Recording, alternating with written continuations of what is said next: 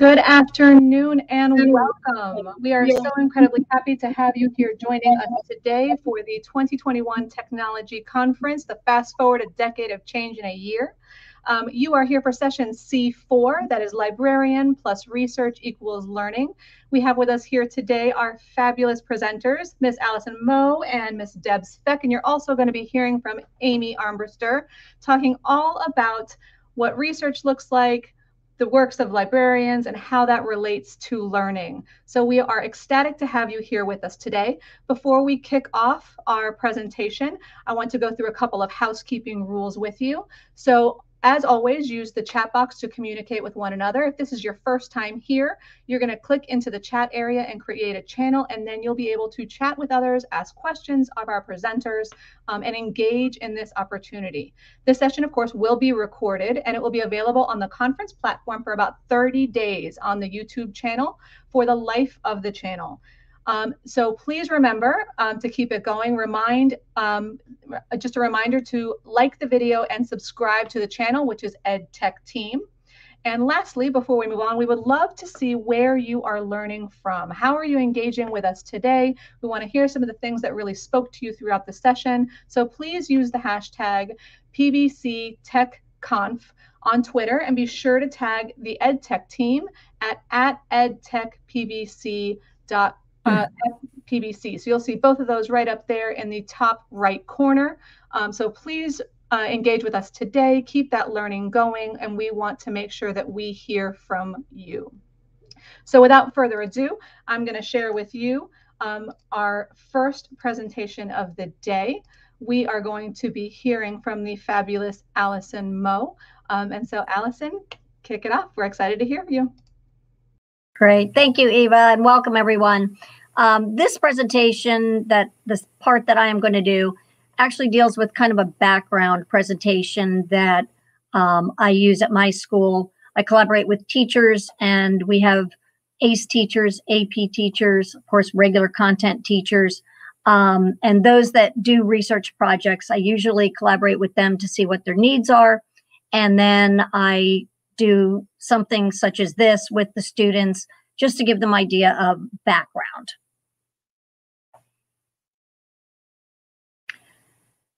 So I'm from Santaluces High School, which is in uh, Western Lake Worth in Palm Beach County, Florida, for those of you that might be joining us from other places. Um, Deb, Amy, and I also get to collaborate together in a um, Saturday forum. We have a TLC group that uh, we we get together and we collaborate amongst other librarians to discuss different things that we do with our students.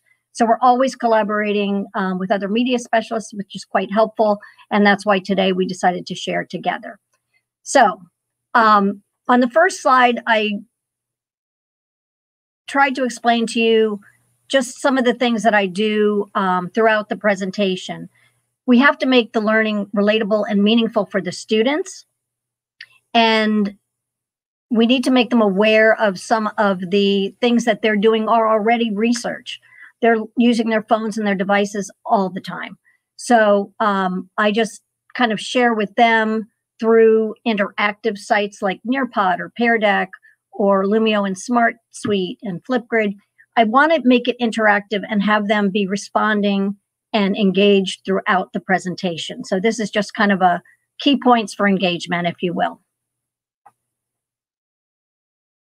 This would be um, the beginning of my slide I, I, presentation. I usually throw out a question to the students to kind of get them involved.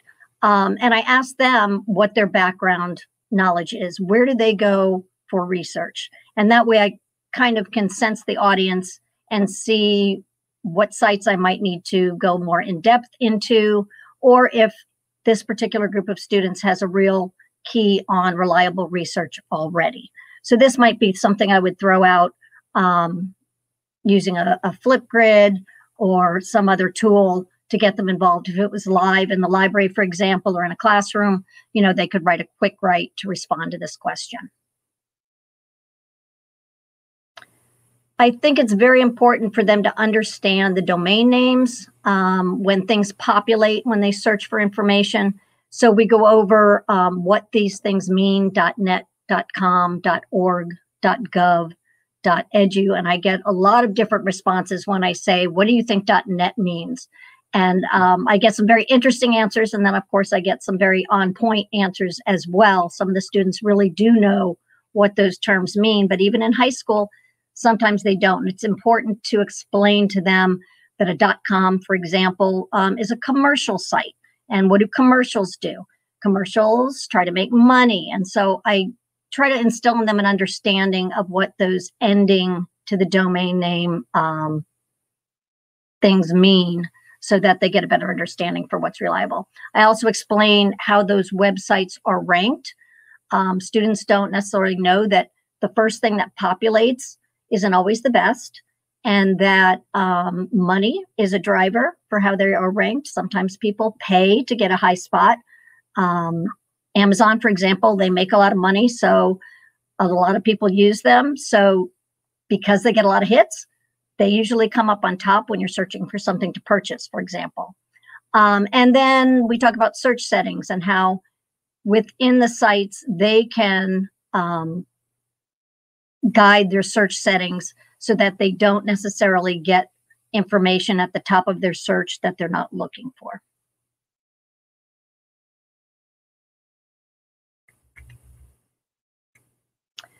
I also try to uh, use political cartoons um, during some of my, my presentations with the students. And this one I use um, to kind of promote some critical thinking. Um, it is a game show background, and I ask the students to just take a few minutes to think about it, read the caption, and think about how this relates to searching for information and then getting something to populate. Um, and again, I get interesting answers for this, but some of the answers that I get are really right on. So um, obviously, we talk about um, the one who shouts the loudest is the one who is heard. However, in researching, also the top site is sometimes the loudest or the one with the most money, and we kind of make that that correlation and do a little critical thinking um, using this. And I go into more depth, but I just wanted to show you an example of what I might use to kind of engage them some more.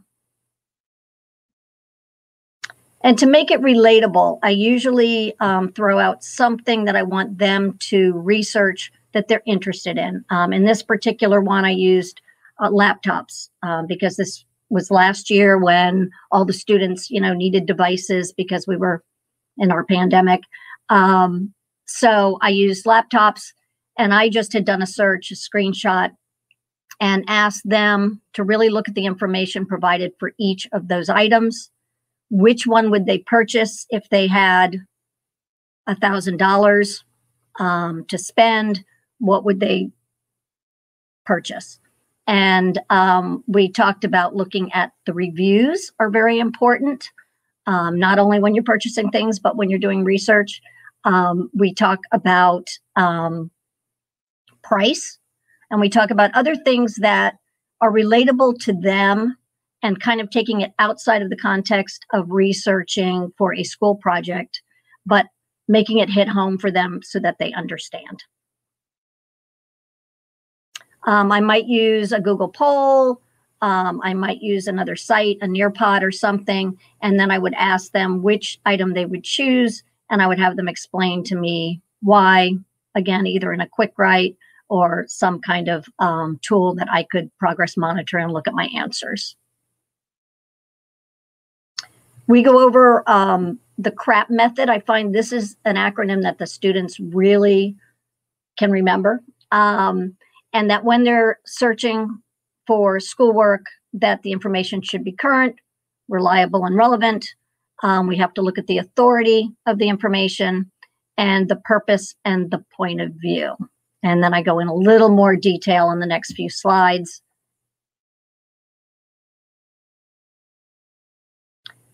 So we actually just discussed these questions. Um, and depending on the research that they're doing, does it have to be current? Um, is it something that just happened last month? Then it should be a current piece of information. Even if it's something that happened 100 years ago, Maybe something has transpired within that time, so we may need current information. And we just go through those questions and um, share information. Also, the reliable re reliability and relevance um, of the information. We cover all of that. Who's the intended audience? And I explain that these things overlap um, in the CRAP method, that they may see the same type of question for the C, the R, the A, or the P, but we go over this into in detail. And the author and authority, um, who is the publisher, who is the author, um, is that author an expert in that field? And we discuss how anybody can publish something or put something as a website. And many times people believe what they read or what they see, but that information may not be reliable and that person may not be an expert for that particular um, subject area or topic. So that kind of relates to our, our researching. And then they understand that they have to look beyond just the title of the work. They have to really look at the C, the R, the A, and the P before they choose their sources to use in their report. And then the P, um, the purpose and point of view, um, we go into this in, in quite a bit of detail. And there, um, we talk about bias a lot and how sometimes the way that things come across are trying to um, persuade you of certain information or that people or publishers, even for that matter, may have bias uh, for certain things. So they have to really distinguish between different sources and get their information from a reliable one in order to provide reliable information for their own report. Um, after that, I usually, uh, because it's kind of a big piece of the discussion, um, I would ask more questions. I would talk about maybe biography research and which of those CRAP they would find would be more more um, important when doing that type of research. And I might also throw in the next slide, I might do a collaborative board for their answers or some other type of interactive uh, project. If it was live, I might have them um, do something with manipulatives or something hands-on, or I might have them even, um, you know, do something at their tables or a discussion amongst their peers um, for this one.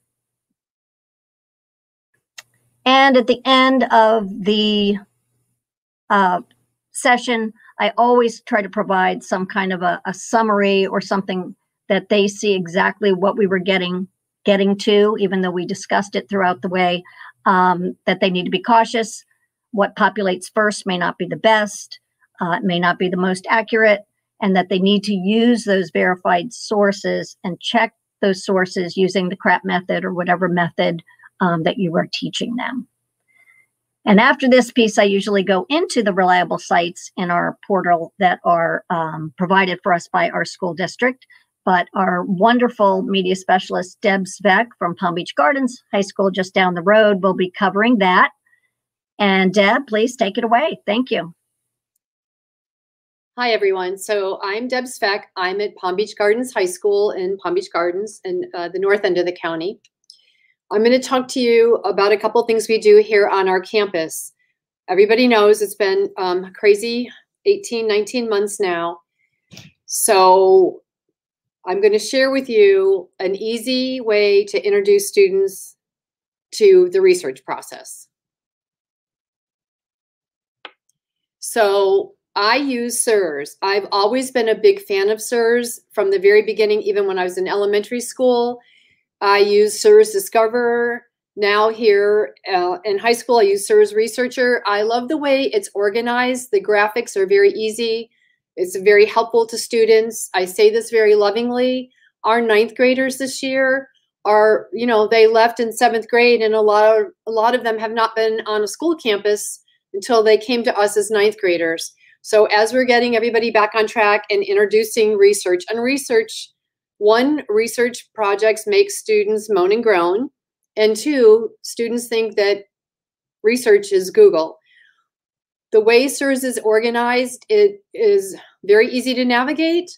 And also, I feel like it really makes it very easy for all levels of learner and any learning style. So I'm going to go over the way SIRS is organized. So what does it look like? So it has um, ribbons for students to search using little graphics, pictures. So it has 12 in each of the ribbons, trending topics. And those are topics that SIRS is constantly uh, collecting data from its users across the nation. And these are always the top 12 trending topics that students are looking for. And they change every time they glean new data, they change these. So one week you'll see mental health, health there, but maybe two days later, it's gone.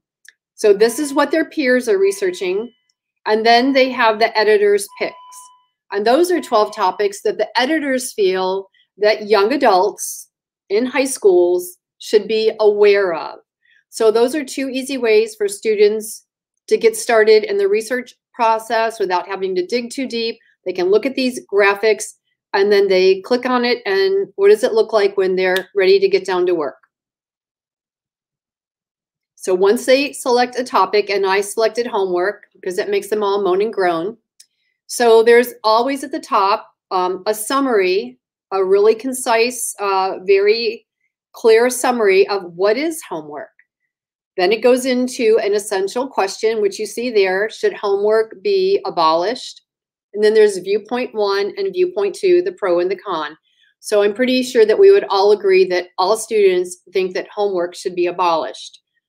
But as with any topic, you can't argue and support your opinion or viewpoint if you don't know both sides of the issue. So under viewpoint one, viewpoint two, there's a statement under each one. And then underneath, there are always three supporting articles. So they have to read both sides. So they're always going to read um, a collection of six viewpoints so that now, no matter which side they're on, they are informed about the entire topic. So when the principal comes in and student government argues against homework, of course, the principal is going to argue for homework, but now you can have a discussion, a discourse about the pros and cons of the subject. So it's a really nice, concise way. When I ask students, why do you always have to read three pieces of evidence, um, view um, pro or con? Oftentimes they really don't know that they're actually searching for like information. So if the first one, one and two don't agree, then you move on to number three. So, but I can assure you that if you're using SIRS, they're all good and they're all going to be of like information, both sides, pro and con.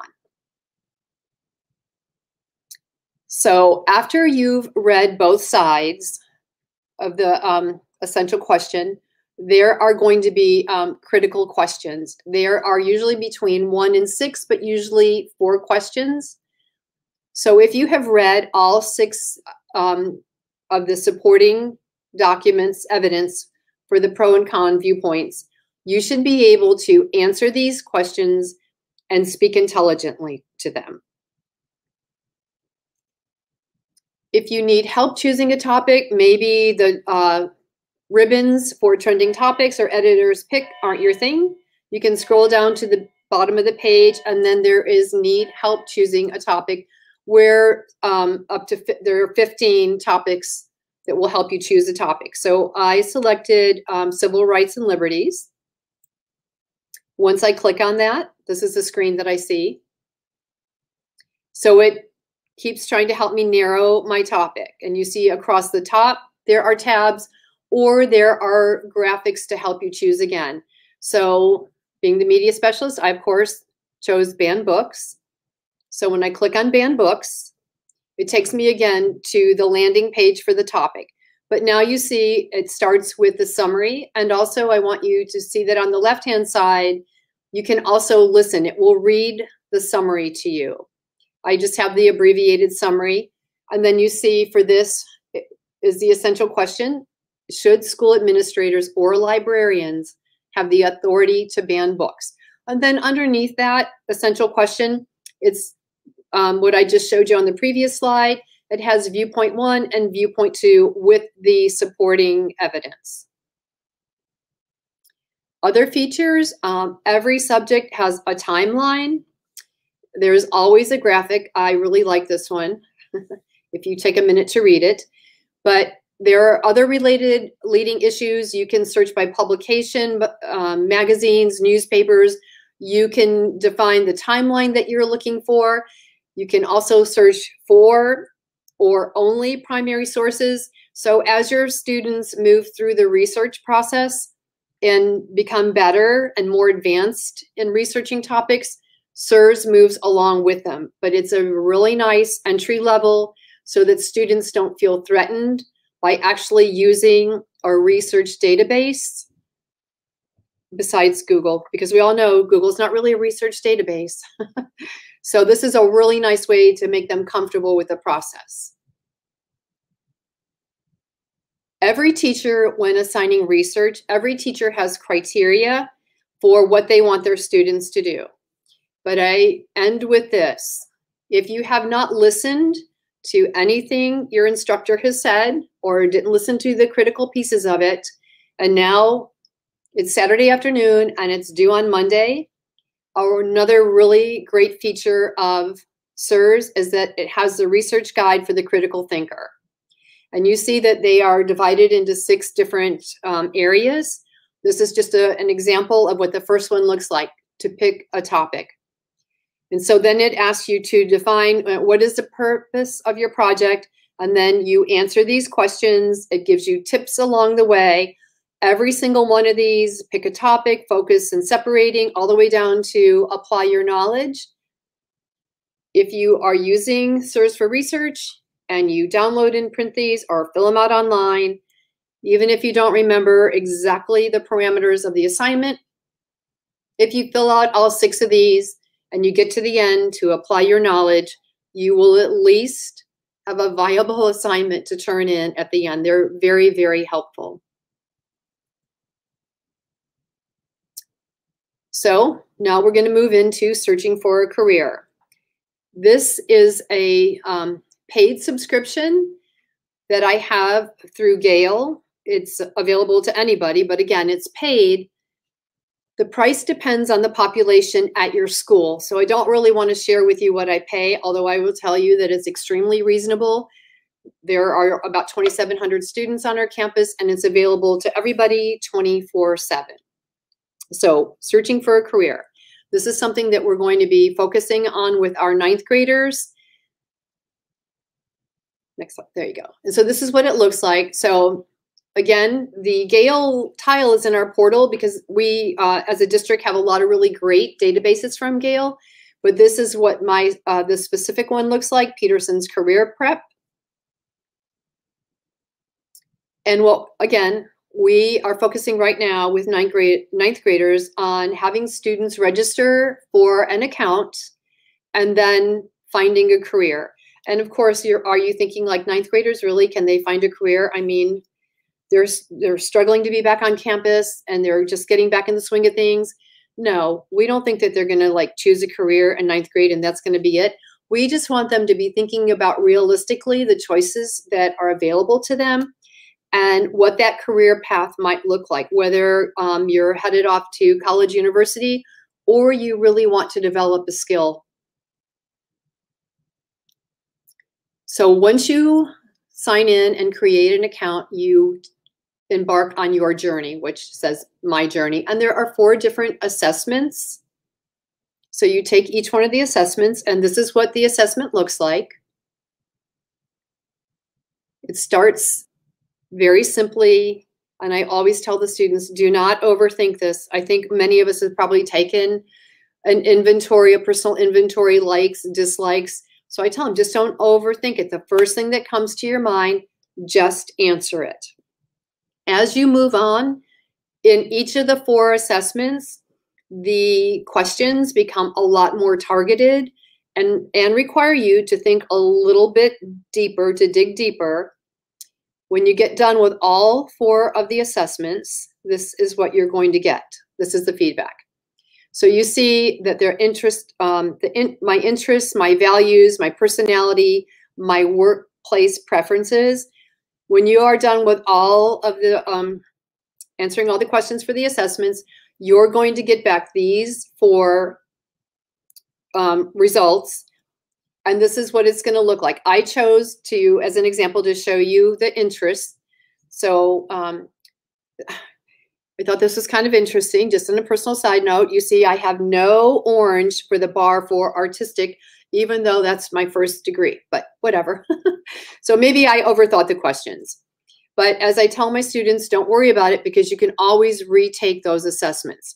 So here is what I got my results. When I click on it, then it breaks it down into, okay, based on how you answered that, here are the different subject areas that you might be interested in. So it looked like human services might be a good fit for me. So I clicked on human services and within human services are all these different careers that I might want to embark on.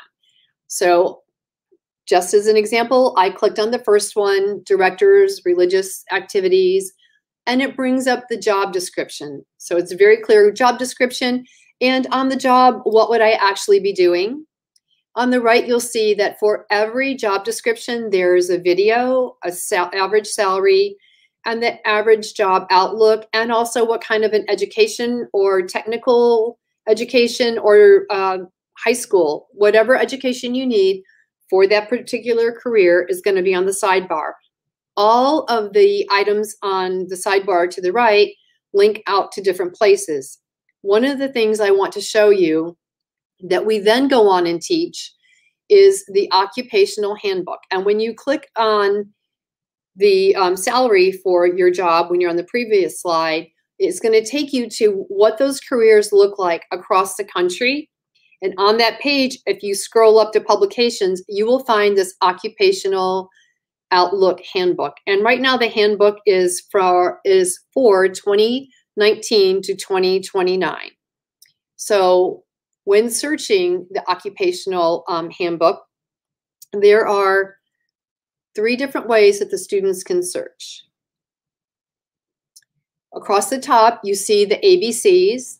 That's really enlightening to a lot of students. You know, a lot of students, they know they want to be an attorney. Um, they know they want to be an artist. They want to be an actor. They want to do something in the medical field when you click across the top on any letter of the alphabet, it brings up under, you see I've already clicked on the letter W, it brings up underneath the letter W all the careers listed in the handbook that begin with the letter W. So that's, I always tell students, you don't have to be bored this weekend. You can search the Occupational Outlook Handbook and see how many thousands of careers are available to you. But again, you can also browse occupations. And of course, I'll bet you already know that when we're looking, students always want to click on the highest paying, but we are, I am steering them when I teach them this, how to navigate this handbook, that they ought to be looking at the most new jobs projected. That's where they need to be deciding like, is there anything there that might interest me? If there is, what am I going to need to do that job? You see um, along the bottom, oh, I should also mention that next to that is the field of degree. So let's say they picked a medical degree. So that return looks just a little bit different because it will tell you about the medical degree, the different degrees underneath that, and the different schooling. It's arranged a little bit differently than highest paying, fastest growing, or most projected. And then across the bottom, frequently asked questions a glossary, and I find that glossary to be uh, a great help to them. Almost every word associated with um, any kind of career, from the average, the mean, um, resume, earnings, anything at all connected with a technical skill and job or college bound degree. It's a really nice comprehensive glossary. There's a teacher's guide for ways to teach the Outlook handbook, and then the career Outlook. So then when you click on any of these careers, you can see this is an example from when I clicked on W. I drive to Chicago every summer and pass many, many, many wind, windmills. So I just clicked on W when I was getting ready to teach this to see what it had to say about windmills. And I was pretty surprised to find that a wind turbine technician just needs to graduate from high school. It's a non-degree. You just need long-term on-the-job training, and their salary is almost $60,000. I thought that was really interesting. You can click across the top, the tabs, or you can just scroll down. All those tabs are underneath, but it gives you a nice summary of the pay, the education, number of jobs projected, and there's always a video. So this is a great job, but if you if you click on this, that video is semi-terrifying because it's from the top of a windmill. So you can't be afraid of heights if you think you want to be a wind turbine technician. So that's just a quick summary of what the Occupational Outlook Handbook looks like. Our school-wide goal this year as we re-enter and get everybody focused back on being successful in school and some tools to make them successful is beginning with the ninth grade students to make sure that they're exposed to the research process, critical thinking skills using SIRS, and that all of our students in grade nine would register and create an account for our career prep through um, Peterson's, which again is a Gale database. So these are two things that we're going to use to move forward. And I will also tell you that the career prep has other things. Um, within that Peterson's career, there are tools, and it's anything from how to write a resume, how to write a cover letter, how to select a university. It's just that even though all those different things are available on the site, we just want them to be aware in ninth grade, everything that's available to them. And as they move through, we'll start tailoring more of it to specific 10th, 11th, and 12th grade. So that's an overview of what we're doing here at Palm Beach Gardens High School. We are so happy to be back on campus this year. If you have any questions, I'm easy to find. I think I'm the only spec in the district. And now I'd like to present Amy Armbruster from Suncoast High School. Good afternoon, everyone. I'm Amy Armbruster. I am the media specialist, aka school librarian at Suncoast High School. Um, I'm going to reveal with you today what we do for research in the Charger Commons here at Suncoast. Um, we're a little different than some high schools in our district in that most of our students are college bound. We are um, an IB World School. Um, our students start with the MYP program in grades 9 and 10, which means they begin research straight away once they get here. So we have a lot to cover with them as freshmen. We also have a computer science program, math science and engineering, innovative interactive technology program. We offer ACE courses and 28 advanced placement courses. So I am very focused here at Suncoast as a research and reference librarian. I'm going to go through quickly to share with you some of the resources we have for our students and to talk to you a bit about how we support our faculty and our students in their goals. Let's get started. Okay, so this is um, our virtual library I designed for us when we went into lockdown in 2020, as most of our students were learning virtually, and I needed to make sure all of our resources were, were available for them online. I'm going to be focusing on those research resources, as I mentioned just a moment ago. So um, we're going to be looking at our databases and our ebook nonfiction collection that we started curating intensively last year. Um, and we're going to look at citation resources and um, some resources that I have provided for them at, for their research process, especially as many times our students are working at 2 a.m. or midnight and they don't have someone available to assist them. So I want to make sure I have something other than YouTube available for them um, online for, from our school. So let's start beginning. Um, we're going to begin with the research process. So um, I am a 28 year veteran as an English teacher and a school librarian. So I have lots of experience in the research process. So I put together the Sweet 16 steps in the research process that I've been using for quite a few years now. Um, and I've modified it occasionally. So I put that here for our students to go through those Sweet 16 steps that will guide them through um, a very effective research paper. And I tell them it will yield an excellent don't guarantee an A, but when ex an excellent paper if they follow those Sweet 16 steps. So I like to make that available for them. In addition, as I spoke mentioned earlier, students are definitely using YouTube a lot. So I also go out and look for YouTube videos that I think will be effective for our students. And I use them sometimes with my instruction. Um, and I, of course, in context. But here's a couple of examples of those. Um, we'll look first of all this one on background reading. It's a YouTube video, um, and it actually talks about using Wikipedia. I know I said the Wikipedia word with academic research. That's a no-no. But guess what? They're going to do it. So we need to teach them how to do it intelligently and effectively. So this is from 2011. Like, oh, that's kind of old for Wikipedia, but guess what? It still works. You can go through that and look at it yourself to see um, why I use it and it talks about um, the fact that they can use it for some background reading for a topic they know nothing about. It helps them. I know you use it too. Um, but the gold is buried at the bottom. And so that's where they're going to have those links to those primary sources and effective resources that are authoritative and valid and reliable. And those are the ones they will go to to do research. And those are the ones that will appear on their works cited page. So I make sure they get that information there. Um, this is a little video that I found on developing a topic. It does a nice little job about um, about narrowing those topics. Um, it's a really short video, um, and once again, YouTube does do that effectively. I don't always have time to create videos, so I like to find good ones that will grab, grab our students' attention. They have to be nice and short, um, and so I like to refer them to those. And those change quite frequently. Um, the next thing I'd like to talk to you about is um, the tab that I have under research databases and ebooks. So once again, I am concerned with academic sources for our students. The hardest habit to break as freshmen is getting them off Google and into academic resources. So I really need to make this easy for them, uh, kind of like one-click shopping, and um, teach them how to do it effectively. So many of our teachers require students to have a print book in their possession um, for their research, especially our history teachers. And I've worked with um, developing our nonfiction ebook collection last year, and also in persuading our teachers to understand that these books are just as effective and many times the very same titles that we find on the shelves in our libraries. So I've worked on developing that collection. So let's take a look at that real quick, quick. So here we are. Um, I, we have currently at Suncoast have 375 in our collection, working to build that.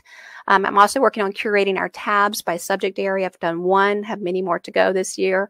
Um, psychology ebooks and databases is here. Um, I plan to add history and environmental, environmental science and others. Um, but currently we're using the ebook search, which is a multi-book search for a topic. And I'll demo that for you real quickly. Um, here I'm going to perform a Vietnam War search, and it's going to search across all of our titles, all 375. We're yielding over a thousand results. And we could narrow this with an advanced search with that feature. Um, we also can use search within feature, which kids really like a lot. Um, and they can also search by relevance um, or publication date, which is very important with those science topics. So let's go in and narrow that. I'm going to use the search within feature and we're going to look for Agent Orange in the Vietnam War and yield the results of 34. So once I get students here, I like to show them that this is kind of like if I pulled a book off the shelf and looked in the index or the table of contents, it would direct me to the pages on which I would find that information. Notice that's what it does for us here. So it's just like looking at a book on the shelf, but I'm looking at it on my computer and the computer is finding those pages and that information for me. So here is a sample. I went into Agent Orange here and notice I love also that the Gale ebooks and the Gale databases give them more like this links, related subject links. So many times this will guide them into another subject they hadn't even considered for research. It's kind of like a little scavenger hunt. And um, I love these features for our databases. Look at some of our other features. We have highlights and note taking capability within the database, and then we can send it to our Google Drive. Um, we also have the cite feature, which of course we love to use. So we're going to scroll through here. I'm just going to go to my next slide. Here's the citation tool.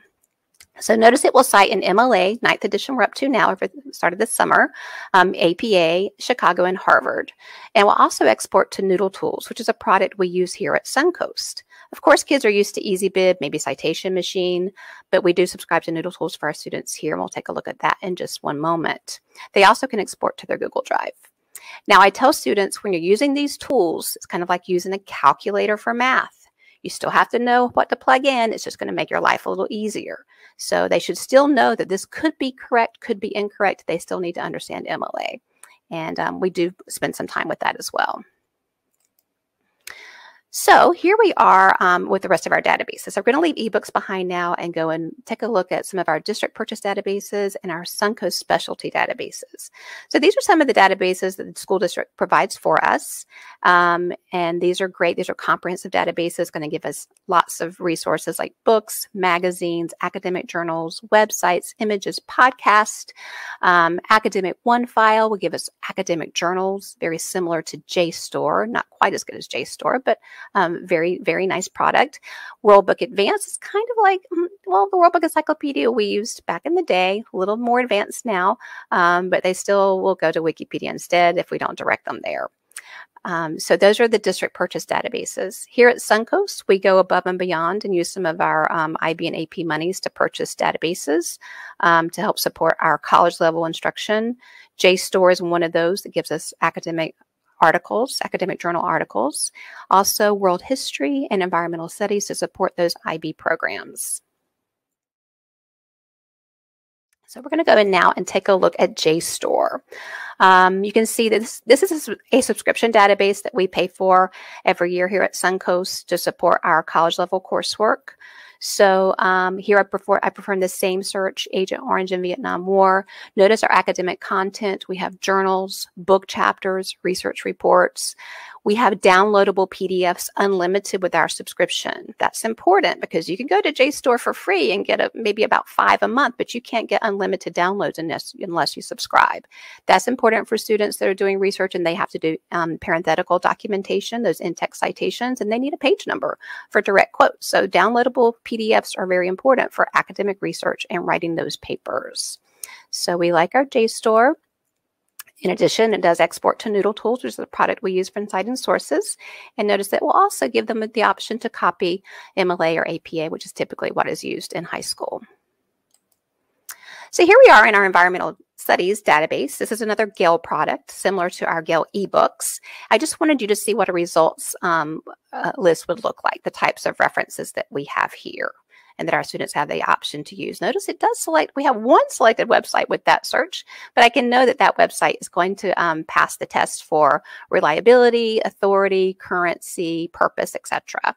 So um, that is our Gale in Context database that we have to renew every year. Those ebooks, we once we purchase them, we own them forever, but databases have to be renewed every year. Okay, so now let's talk about our citation resources that we offer our students here. So we, I did mention that we use Noodle Tools um, to help them, much like a calculator in math. We use Noodle Tools to help us um, cite sources correctly. But in addition, it also allows them to take notes and create outlines. They create little note cards that they can stack on their desktop, and then they can have outlines that they can then export to help them write their papers. And of course, it will it will export and um, create a works cited page in perfect format. And even the hanging indent will not be a pain with Noodle Tools. I did create some videos here. I created those. They're not the best, but they work work. So, um, so we did have some sources to help them with that. So I wanted to show you what Noodle Tools looks like in case you haven't seen this product. So this is a screenshot from um, one of my project folders called Extended Essay 2022. The Extended Essay is a 4,000 word research paper that our students must pass to earn the IB diploma. Even if they've done four years of work and everything else, if they fail this paper, they do not earn the diploma. So it's very critical. They have really nice um, academic resources for their research to write those papers. And Noodle Tools helps them to organize themselves. So this is from um, my um, project folder entitled Extended Essay.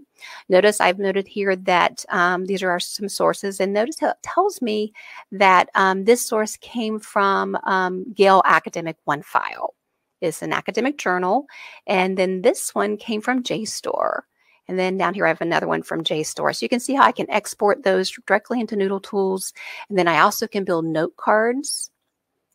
And then I, the students can actually take notes on those. They can have direct quotes on those, um, give them titles, and then they can give a tabletop view or detailed view of those note cards. See, we have here, this was dealing with ecotourism in Australia. And I have note cards like Reef Park, reef shark population, Great Barrier Reef, etc. And then the outline feature allows them to start building that outline along the side. And then that would be able to be um, exported into a doc so that they could have that next to them as they write their paper. In addition, one of the best features is when you click on this little icon, you export it. Um, if you're if, when you've already set up letting them know that you're using MLA formatting, this is what it does for you. Drum roll, please. Perfect works cited page. Bam. No hanging indent battle, um, alphabetical order, MLA format. If you've chosen MLA as your um, as your formatting technique for this paper, so that's Noodle Tools. Some more tabs on my citation resources page would be the Purdue OWL, which is an incredible resource for papers, turnitin.com, which helps prevent plagiarism, helps us detect plagiarism as a school, and then our own writing lab here at Suncoast, where students actually peer edit and help one another with writing.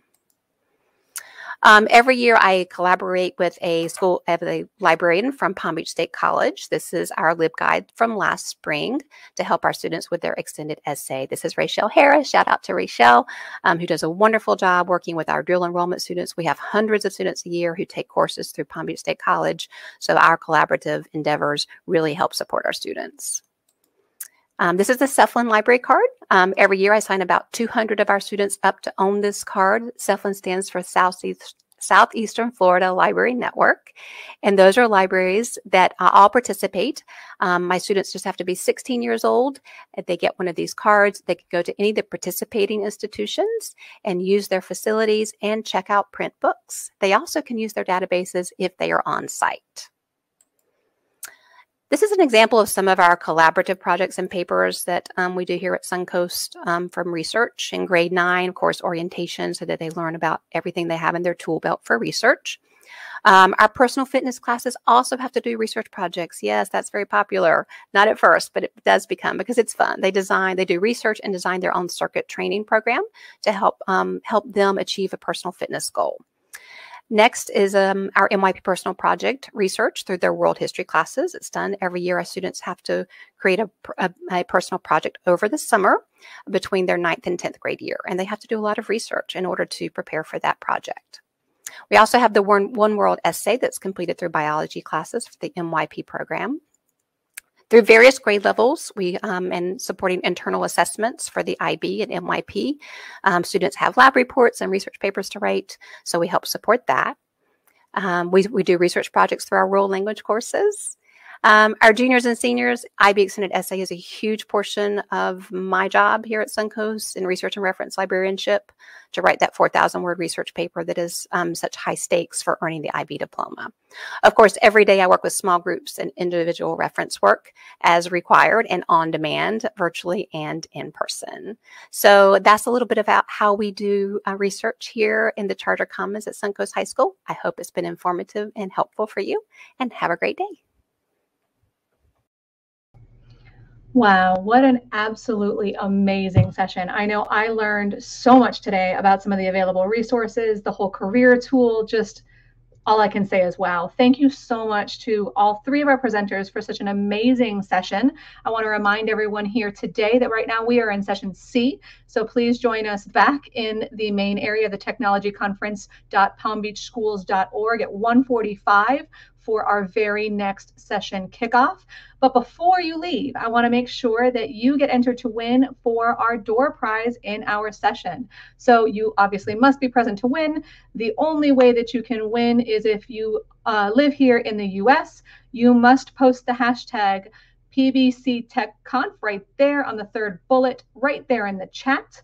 Um, and then this is going to generate who our winner is for us.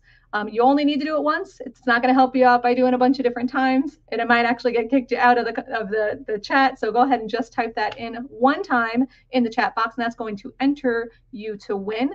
Your winner, um, your what you're going to do is email John Shoemaker at john.shoemaker at palmbeachschools.org um, when you've won, when I've named the winner, um, and that will get you your prize. What you're going to be winning today is a $50 Visa gift card from Connection Public Sector Solutions.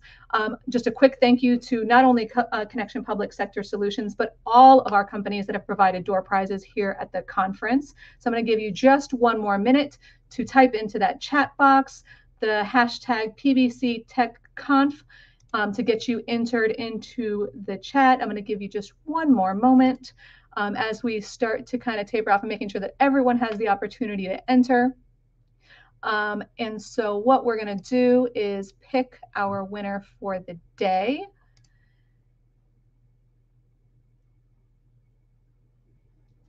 We have our spinning wheel and our winner for today is Tracy Posey. Tracy Posey is the winner of a $50 gift card. Congratulations. We are so happy that you won. Please make sure that you email John Shoemaker your name and which session you attended, and we can ensure that you get your prize. So, to wrap us all up, what I'd like to do next is bring up our presenters here today so they can close out our session before we continue on, give you some last thoughts before we finish up for the day. Deb, Alison? So thank you. It was great to have the opportunity to present to you what's happening in a small part, a small part here on our campus at Palm Beach Gardens High School. And I would like to plug your uh, keynote closing speaker, Doug Konopelko, who was once a Greater Gator here on our campus. Thank you, everyone. Glad you could join us today. Absolutely. So before we close out for the day, I want to just share with you the entire EdTech team that has made today's conference possible. I know that they've worked incredibly hard um, to make this a reality and to put all this together with all these amazing presenters. Um, so thank you all uh, for joining us today. Thank you for coming. Um, the very last thing I want to share with you today um, is just our closing remarks um, and just really delighted to have you all here.